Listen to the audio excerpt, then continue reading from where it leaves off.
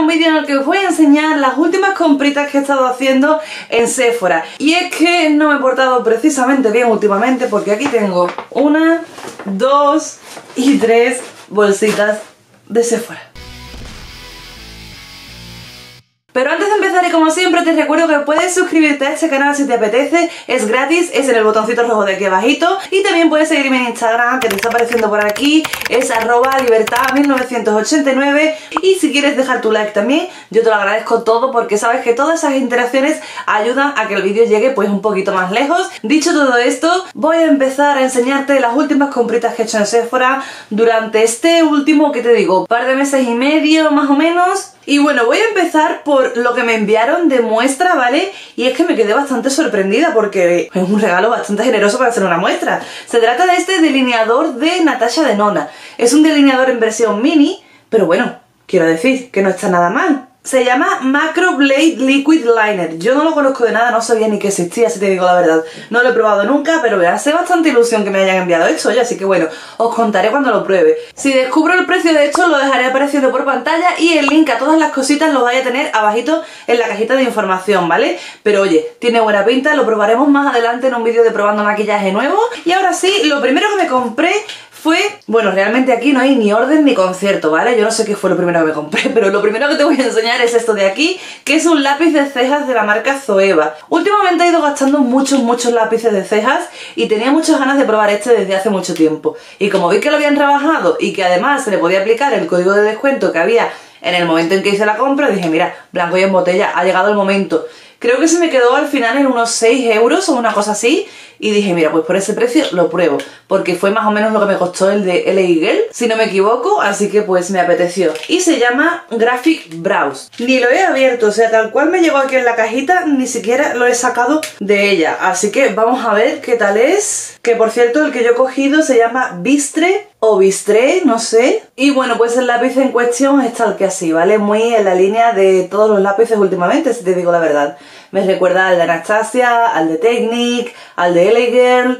Me recuerda mucho, la verdad, el formato que tiene. Viene por aquí con un spoolie y por el otro lado viene con la punta. Ahí veis el tono. ¿Qué os parece?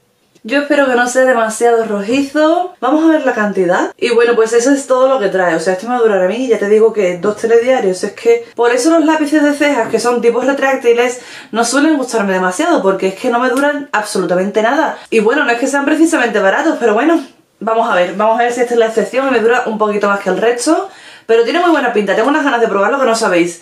La verdad es que llevaba en mi wishlist mucho tiempo este lápiz. Y bueno, otra cosa que también llevaba en mi wishlist, ay madre mía, yo no sé cuánto tiempo ya. Y lo ponía en la cesta y lo quitaba, y lo ponía en la cesta y lo quitaba. Y así hasta que al final digo, mira, no hay más vuelta de hoja, lo tengo que comprar. Porque además nada más que hacía oír buenas reseñas acerca de este producto. Le tenía unas ganas increíbles. Y bueno, os estoy hablando del, de la eh, base de maquillaje. Bueno, esto es una no es una base de maquillaje, ¿cómo lo llaman exactamente? Tinted Glow Hydrator, ¿vale? Pero bueno, para más señas es la Hydromaniac de Urban Decay, ¿vale? Dice que tiene una cobertura media y que dura hasta 24 horas, que tiene kombucha filtrada y aceite de marula. Trae 35 mililitros, 5 más que lo que suelen traer este tipo de productos. Y bueno, por detrás, como vemos, dice que hidrata, da un aspecto glow y dura hasta 24 horas. Y que su fórmula es vegana. Y bueno, yo me dije, para traer 35 mililitros, que es más de lo que normalmente trae una base de maquillaje, ¿no te parece que este bote es un poquito chiquitín? Pero bueno, no sé, es la percepción que me ha dado, qué sé yo. El caso es que yo me lo cogí en el tono 30 Light, ¿vale? Ahí lo podéis ver y también estuve bastante dudosa de cuál cogerme, pero bueno, al final me decidí por esta y según lo que veo aquí, creo que no me ha ido muy mal la cosa. Ese es el aplicador que trae, esa boquilla. Y ahora no sé yo si es quizás demasiado clarita. No sé, ¿cómo veis? Esperemos que se adapte bien a la piel. Resumiendo, esto es una base de maquillaje muy muy bajita, con poca cobertura, rollo como la que siempre os enseño de Mercadona, ¿sabéis? Esa que se llama 3 en 1, esa que me encanta y que siempre os recomiendo, ¿vale? Pues creo que esto va a ir un poco por esos lares y tenía muchas ganas de probarla, la verdad. Y la estética que tiene tanto el bote como la caja me parece divino. Mirad por dentro qué bonito es. No sé, me gusta mucho, tengo muchas ganas de probarlo mucha curiosidad y vamos a ver qué tal. Y esto me salió por 20 pocos euros, 24, 25, una cosa así, cuando su precio creo que sale en... no, Mentira, creo que me salió más barato. Sí, creo que rondaba sobre los 22-23 euros lo que yo pagué por este producto. Más o menos por ahí van los tiros, ¿vale? Pero el caso es que estaba bastante rebajadito, que era lo importante, porque si no me equivoco creo que están los 32 o 33 euros. Incluso más caro lo he visto, depende de dónde lo compréis, depende de a qué página acudáis. Porque sí que es verdad que esta, este producto concretamente he ido 57.000 veces a tienda Sephora, ¿vale? A Sephora físico y nunca tenían este producto. Me decían que este solamente vía online. Al menos aquí en el de Jerez, que es el que tengo más cercano, pues eh, nunca lo tenían. Así que bueno, me arriesgué online y ya veremos si acerté con el tono. Bueno, también me compré semejante joya como esta, que por cierto de esta os tengo un vídeo, aquí os lo dejo apareciendo, ¿vale? En el que os la reseño, os hago swatches, os cuento qué me parece. Pero bueno, el caso es que esta paleta yo me la autorregalé como regalo de Reyes, ¿vale?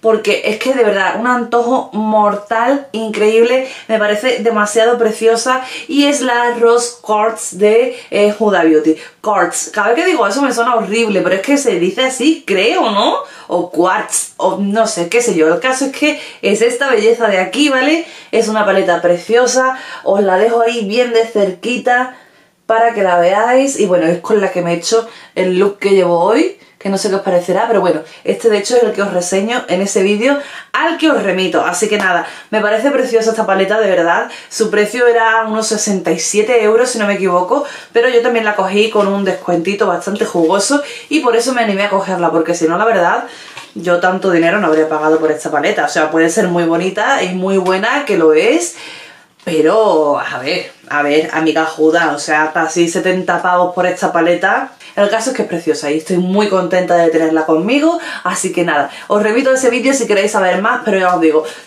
preciosa. Bueno, sigo con otra paletita, ¿vale? Y es que esta, bueno, también me tenía obsesionada desde hace un montón de tiempo y de hecho os lo dije cuando os la enseñé en el vídeo de lanzamientos maquillísticos de rigor, que ya sabéis que siempre hago uno al mes, con todas las novedades de los lanzamientos de maquillaje y de las noticias del mundo del maquillaje, youtubers y demás, pues todo lo que pasa durante el mes os lo resumo yo en un vídeo, ¿vale? Y bueno, en el que tocaba esta paleta os la enseñé y os dije es que me parece preciosa. No me la voy a comprar porque tal, porque tengo paletas que puedan ser parecidas y no necesito más paletas.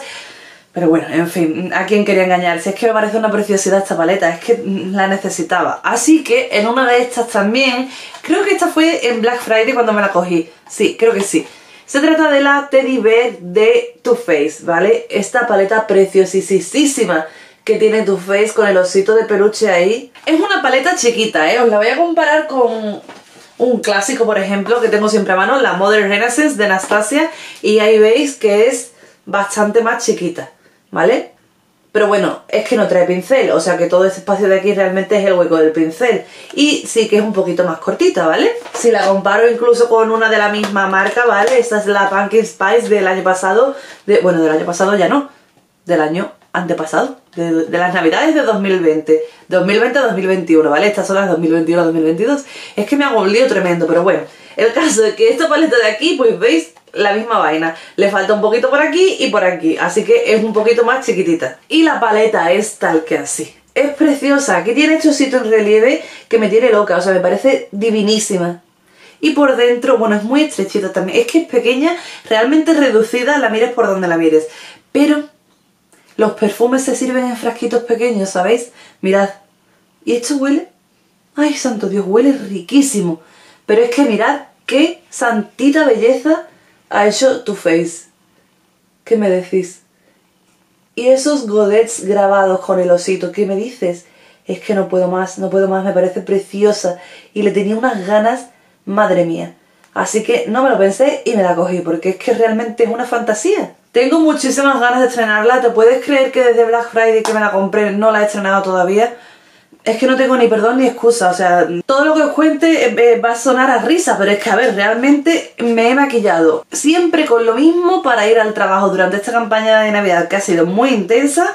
Entonces no he tenido tiempo de ponerme a jugar que si sombras nuevas, que si para acá, que si para allá. Quería hacer un vídeo acerca de ella, pero tampoco he tenido tiempo, así que bueno, ahora que tengo un poco más de tiempo, pues a ver si ahora os grabo un vídeo acerca de ella utilizándola y diciendo qué, tal me parece, qué, qué impresiones me da. Por aquí vienen los tonos en la cajita, ¿vale? Y ya os digo, a simple vista me parece preciosa. Esta paleta costaba, si no me equivoco, unos 43 euros a precio normal. Yo me la pillé evidentemente rebajada y creo que me salió 29 euros, 30, 31... Yo creo que no he llegado a 31, por ahí lo rondaba más o menos. Y estoy muy contenta de tenerla, la verdad que me parece preciosa y en cuanto la estrene sé que no voy a parar de, usarla, no la voy a soltar porque al final no deja de ser un básico. Y bueno, lo último que os voy a enseñar en esta ocasión es algo que también tenía muchísimas ganas de tener y de probar, pero que tampoco he catado todavía. Y esto me lo compré, te digo más, incluso me lo compré también en Black Friday. O sea, hace ya que dos meses. En fin, la vida que no me ha dado para más. Pero tengo muchísimas ganas de probarlo también. Y os quiero hacer un vídeo específico acerca de estos productos porque, a ver, tienen muy buena pinta. Y realmente estoy segura de que me van a gustar. Casi segura de que sí, porque he escuchado muchísimas buenas reseñas por ahí. Así que nada, os lo enseño ya. Se trata de este set de los favoritos de Selena, ¿vale? Es de la marca Rare Beauty y como sabemos pues es la marca de Selena Gómez. Y sacó este kit pequeñito que se llama Selena's Fabs, ¿vale? Y ahí veis que tiene un colorete, un iluminador, un labial y una máscara de pestañas. Bueno, la cajita por detrás tal que así, ¿vale? Por todos laditos. Y si la abrimos, vemos los cuatro productos que os he dicho, ¿vale? Por aquí la máscara de pestañas que viene precintada Así que ahora mismo no la voy a utilizar, pero os lo enseñaré, os lo prometo. En un vídeo más adelante haré un vídeo exclusivamente acerca de esta marca y pues contando si merece la pena o no estos productos de un pelo pegado. Qué glamour el mío, ¿sabéis? Bueno, por aquí su famosísimo colorete en formato líquido, ¿vale? Que se gira así, ya sabéis. Con este taponcito ya icónico en la marca y en la industria del maquillaje, ya sabéis. Con ese mismo formato tenemos también este iluminador líquido muy chiquitito, pero que bueno, con esto tenemos también para bastante, bastante, bastantes usos. Así que me parece fantástico que venga así en chiquitito. Yo es que soy muy fan de las mini tallas, de verdad. O sea, esto me parece la fantasía y super cookie. Y bueno, pues la misma estética, el mismo formato. Y por aquí el pintalabios que viene en este formato líquido, pero creo que es un formato velvet o un formato mousse o algo así. No lo sé, no estoy muy segura, ya lo probaremos más adelante. Es un color super money, la verdad es precioso. Así que bueno, ya os contaré también. Me imagino que ya lo habréis visto durante todo el vídeo, pero espero que me perdonéis las uñas porque tengo las manos destruidas. O sea, a tal punto en el que los productos de limpieza la plata, me tienen las manos destruidas. Así que bueno, espero que me las perdonéis. El caso es que me hacía demasiada ilusión probar este set y me lo cogí, aunque sí que es verdad que esto no entraba dentro de las ofertas de Black Friday de Sephora. ¿Por qué? Porque bueno, ya sabemos que Sephora y sus exclusiones a la hora de, de aplicar sus códigos de descuento, ¿sabéis? ¿No? Pues bueno, pues eso. Muy bien, ese fuera fantástico por tu parte, como siempre. Nótese la ironía, por favor, ¿eh? El caso es que, bueno, aquí tengo la cajita que me costó 29,95, 30 euros, ¿vale? Y la verdad es que no me parece que esté nada mal de precio porque, oye, para probar cuatro productos de una tacada en un formato que es bastante, bastante adecuado, ¿sabéis? Quiero decir, es que a mí me parece muy bien las mini tallas porque realmente, ¿cuándo vas a acabar un iluminador líquido de este tamaño, de esta guisa? O sea, seamos realistas, no, no los gastamos. Así que que vengan así en, formatos chiquititos y podamos probarlo y además sea más barato, yo bendecida con todas las mini tallas, de verdad que sí. Y bueno, pues ya está, esas han sido todas las cositas que tenía que enseñaros de Sephora, que bueno, al final han sido unas cuantas, o sea, yo estoy súper contenta. Es que no sabéis la de tiempo realmente que hacía que no me daba yo un buen caprichazo, un gasto en Sephora importante, ¿sabéis? Hacía mucho tiempo ya, porque bueno, al final decía, no, porque tal, porque... Mira, una vez al año no hace daño y esta vez ha tocado a lo grande. Así que estoy muy contenta, tengo muchísimas ganas de probar todas estas cositas, así que bueno, quiero que ahora tú me cuentes abajito si has probado alguna, si tienes alguna en tu wishlist, qué piensas acerca de ellas, si no te llaman la atención, si no te gusta, cuál es tu canción favorita de Selena Gómez, lo que tú quieras, cuéntamelo abajito que yo te leo encantada y por mi parte nada más, sabéis como siempre que tenéis todas mis redes sociales en la cajita de información, también códigos de descuentos, enlaces a productos, enlaces a redes sociales, a todas las cositas que te puedan interesar y nos vemos en el siguiente vídeo. Bye.